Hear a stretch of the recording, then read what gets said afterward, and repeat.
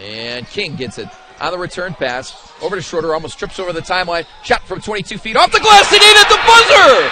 Game over! Game over! Mikey likes it! Schroeder with the improbable shot at the buzzer! 65 62. North Stars win!